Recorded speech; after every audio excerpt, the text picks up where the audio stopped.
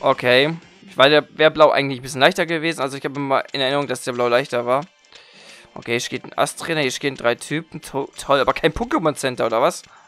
Wie soll ich denn das verstehen? Heißt du meine Pokémon? Nein, du machst hier deine scheiß Statistiken. Gern, und du bist kein Trainer, der Interesse erwecken könnte. Okay. Herzlich willkommen im Kampfbaum. Wonach geht dir der Sinn, dass ich die Musik ändern, nein, dass ich hier rausgehe? Wieso gibt es hier keine... Kein Pokémon-Center? Gewinnpunkte. Was kann man denn hier austauschen? Oh, Kingscan, okay. Gewinnpunkt ist absolut kein Problem für mich, weil ich habe auf der Pokémon-Bank so viele Pokémon gelagert, dass ich, dass ich da ganz viele Punkte eigentlich geschenkt bekomme, dass ich das locker alles leisten könnte. Ja. Oh, geile, geile Items, ey. Geile Items. Richtig geile Items. Hier habt die, die, gut, die üblichen Items eigentlich. Die man ja in jeder Generation eigentlich bekommt. Und die ganzen, oh Gott, die ganzen Needs bekommst du auch geschmissen. Nach hinterher geschmissen. Also wenn jetzt Ge äh, Gewinnpunkte. Ich glaube, ich habe da über 1000 Gewinnpunkte, könnte ich mir quasi rüber tauschen. Das wäre nicht das kleinste Problem. Jetzt hat mir diesen kleinen Abstecher gemacht.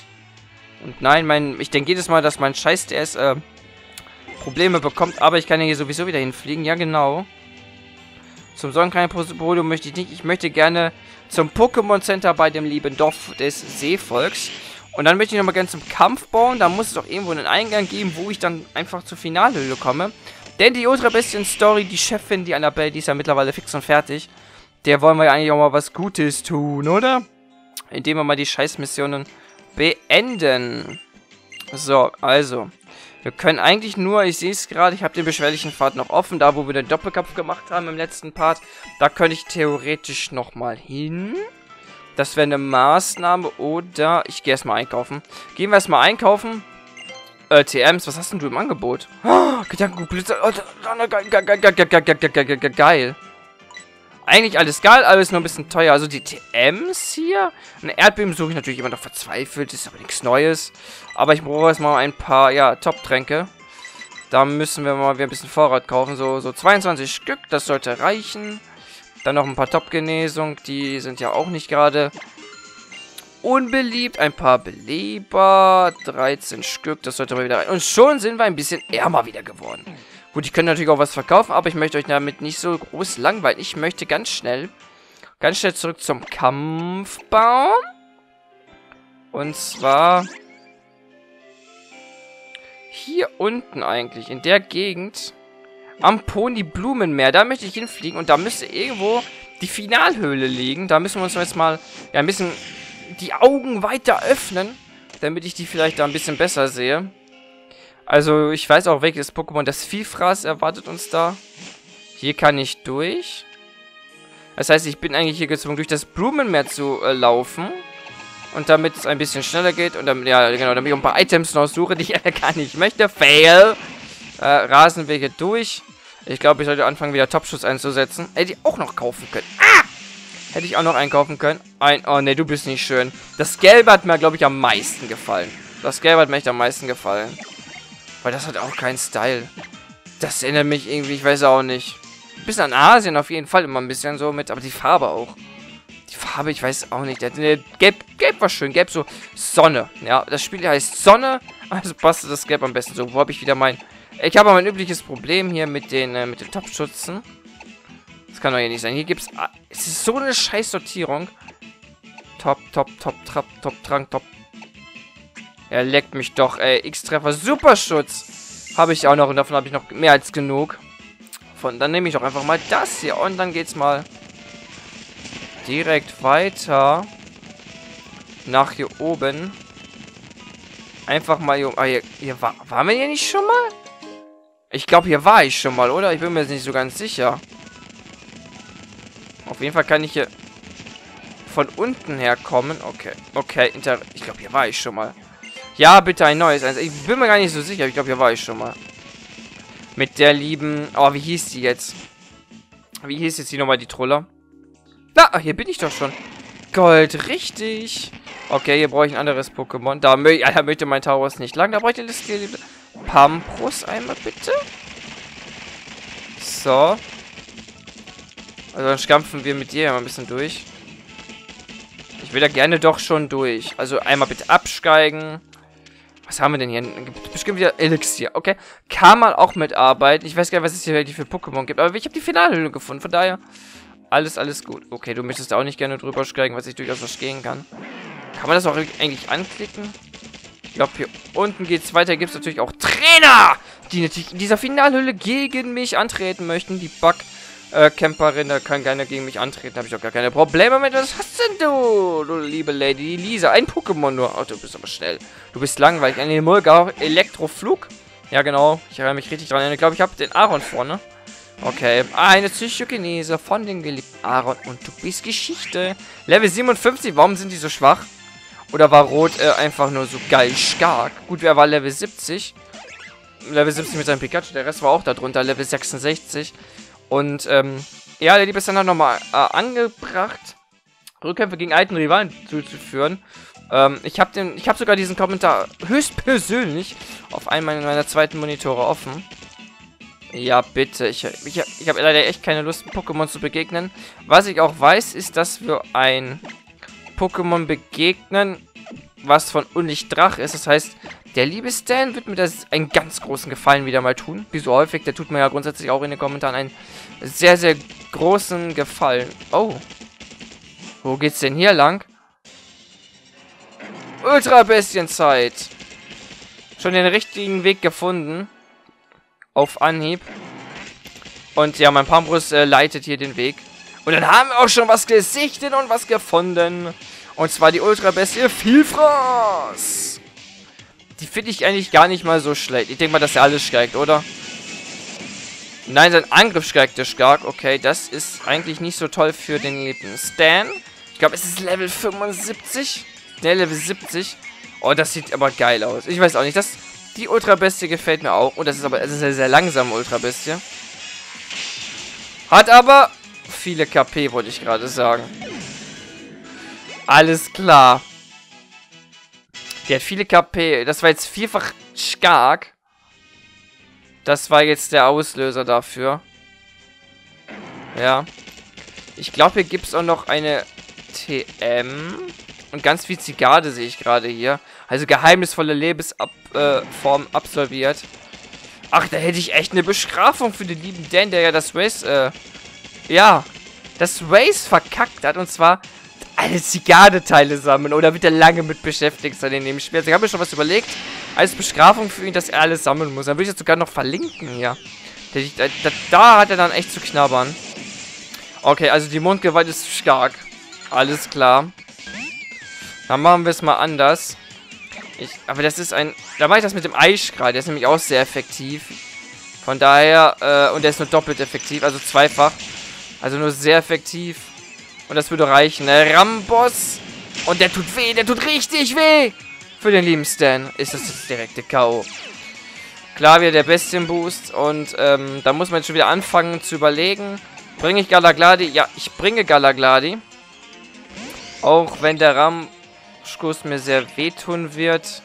Aber ich versuche ihn einzuschläfern direkt. Und er wendet die Attacke ab. Aus. Was ist das? Kann ich nicht mehr fliehen oder... Hä? Was ist denn das für eine Attacke? Da müssen wir dann gleich mal im Bericht gucken. Und der wehrt schon wieder ab. Also diese blöde Hypnose trifft einfach nicht. Und Gala Gladi... Oh, geht fast down. Aber nur fast. So, ein drittes Mal gehst du bitte nicht daneben. Ja, dankeschön. Das geht doch, ey. Jetzt spennst du bitte. Aber ich werde sofort einen Ball werfen. Also ich mache das jetzt hier nicht, äh langsam. Wir machen es direkt. Ohne große Umschweife. Warum groß sich hier dran beschäftigen, wenn wir wissen, mit 40 Ultrabällen bin ich doch hier gut bestellt. Und dann besonders, wenn wir so den Ball werfen, bleibt es auf jeden Fall drin. Zack und drin. Bam. Da habe ich jetzt bei den letzten zwei Ultrabällen auch jedes Mal Glück gehabt. Was ist eigentlich sehr, sehr gut für den, äh, also, was für ein Wesen wäre für ihn jetzt, für die Ultrabestie am sinnvollsten? Also, ich finde diese Ultrabestie richtig geil. Also, Drache Unlicht hat ist episch. Hat aber eine Vielfachschwäche gegen Feenattacken. Aber ich finde das richtig geil. In welcher Kampfklasse das spielt, keine Ahnung, könnt ihr mal gerne mal in die Kommentare äh, beantworten. Eine Ultrabeste, die einigen Berichten zufolge ganze Berge vertilgt und selbst mehrstöckige Gebäude verschlingen kann. Wahrscheinlich bist du auch einfach nur groß. Ich möchte dem keinen Spitznamen geben. Ich möchte gerne mal mit dem Bericht angucken. Weil das interessiert mich. Der Angriff hoch und die Initiative schlecht. Äh, nein. Mutig. Ich glaube, andersrum wäre es besser, da der Angriff hoch, Fruchtleid so kommt.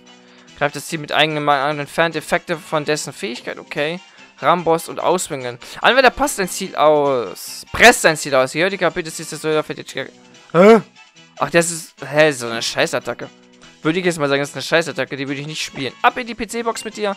Ich hoffe, du warst die letzte Ultra-Bestie für heute. Oder kommen da noch zwei, zwei andere? Okay, das waren sie alle. Okay, ich möchte mich hier trotzdem mal weiter umsehen. Oh, schöne Gegend. Hier ein Zitterorb.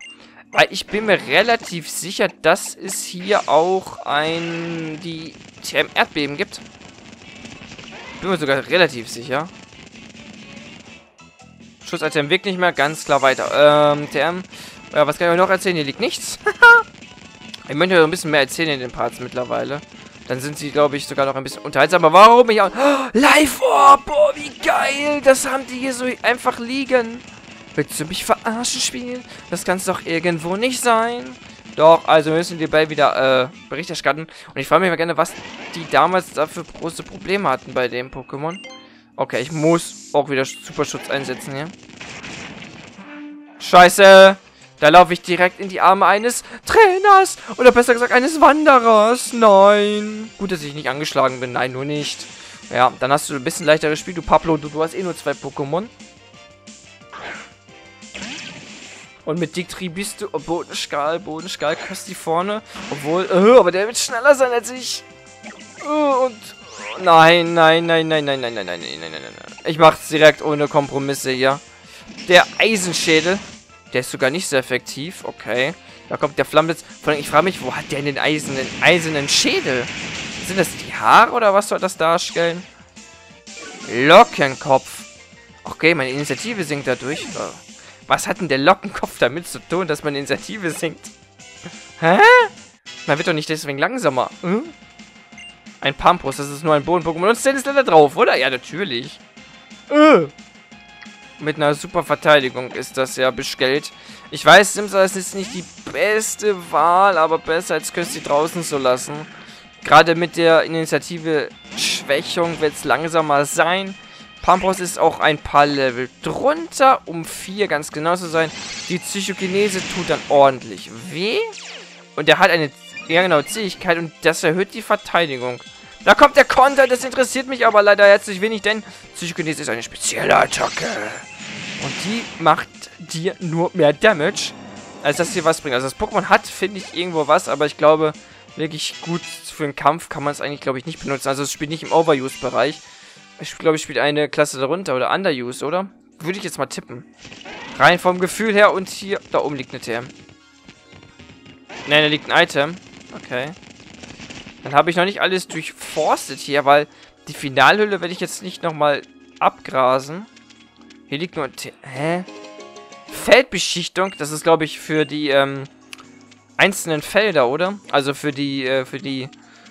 Für Kapuriki wäre das super. Äh, warte mal mit meinem Pampos, ich brauche dich nochmal. Links war ich ja schon. Gab es hier nicht noch eine TM? Oder bin ich jetzt komplett auf dem Holzweg? Schreibt mir mal in die Kommentare, ich war mir ziemlich sicher.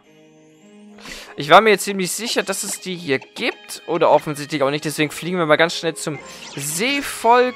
Und, ähm, oder dahin zum Seevolk. Danke. Und skatten Leball erstmal ein bisschen Bericht, dass wir die letzte Ultrabestie auch haben. Warum gab es eigentlich von einigen äh, Ultrabestie mehrere Exemplare? Das äh, würde mich auch mal gerne reizen. Oder interessieren, besser gesagt. Ja. Aber ich habe ich hätte eigentlich auch dem letzten Part die Höhle schon finden können. So ist jetzt nicht. Dann erwartet euch beim nächsten Mal, wenn wir Lebedis den Bericht abgegeben haben, da erwarten uns dann noch die lieben, die lieben Schutzpatronen. Die werde ich dann mit Galagladi noch fangen. Das hatte ich ja sowieso vor. Ähm, dann gibt es ja noch den Sonnenkreis, genau, den Sonnenkreissee oben auf der Insel Ula Ula. Genau, den müssen wir ja auch noch äh, abgrasen. Nein, diesmal nicht mehr. Wo ist denn hier das geliebte Restaurant? Vielleicht kommen wir ja zu unserem 5-Gang-Menü heute nochmal. Weil ich glaube, 5 Ultrabissen haben wir gemacht. Da wäre ein 5-Gang-Menü das Richtige. Wenn wir das äh, dann so mit beenden können. So, Leber, ich bin fertig mit euren Missionen. Hat Bock gemacht. Es hat richtig Bock gemacht, diese Ultrabissen-Story. Also danke, Stan, für die Info. Aber die, die das hätte ich sowieso lieben gern gemacht. Ja, das kennen wir ja schon. Lösung einen größeren Schritt näher. Es ist vorbei, Stefan. Damit hätten wir alle Ultra bisschen sichergestellt. Du hast wirklich sehr gute Arbeit geleistet. Das geht auch für dich, Lebel. Oh, danke. Ach was, ich habe doch gelegentlich für die Rückendeckung gesorgt. Diesen Erfolg verdanken wir euch zwei. Hauptsächlich mir und um den Abschluss unserer Arbeit Gebühren zu feiern, sollten wir ein leckeres Fünf-Gänge-Menü hier im Restaurant machen. Was denn jetzt, Chefin? Ein fulminantes Ende verlangt doch nach einem fulminanten Festmahl, oder nicht? Unsere Mission ist noch nicht ganz abgeschlossen. Wir müssen erst noch im Etterparadies und Pia vom Erfolg unserer Arbeit berichten. Ja, stimmt. Und natürlich außerdem sollten wir uns die Ultrabälle bedanken. Ja, danke. Also, wir machen jetzt, ähm, nochmal uns auf zurück zu genau dem Etterparadies. Stimmt. Das habe ich mir sogar noch aufgeschrieben. Ah, oh, ich bin so ein Vollhorst. Ja, ich bin so ein Vollhorst. Wir fliegen dann ganz kurz nochmal nach dem Etterparadies. Skatten mal ganz kurz Bericht. Und natürlich gehen wir genau die falsche Seite entlang. Ist ja, ist ja bei mir Standard. So, einmal bitte dorthin. Bam, Glurak, ich brauche dich. Und dann würde ich sagen, kümmere ich mich gleich nochmal um... Um, um, um, um, um, um, um die Schutzpatronen. Um die Schutzpatronen. Und so ein bisschen ins, ins Geheimlabor. Da ist die Pia und ja, ich könnte mich auch noch mal hier kurz Galagladi vorknüpfen, mir meinen Typ 0 abholen, glaube ich. Das könnte mich eigentlich, glaube ich, auch mal. Ich glaube, der ist in der Schutzzone, oder? Ich glaube, der ist ganz oben. Also, wenn ich schon mal hier bin, habe ich jetzt die Pokémon eigentlich geheilt oder nicht? Ich glaube nicht. Ich kenne ja mein Glück. Gut, dann schmeiße ich ein paar Items raus. Das ist ja auch nicht das große Ding. Laborbereich B, da habe ich ja meine Ultrabälle bekommen. Hätte ich eigentlich auch von äh, Lebel Ultrabälle bekommen, wenn ich jetzt nicht mehr welche von ihr abgeholt hätte? Ich glaube nicht. Ich glaube nicht.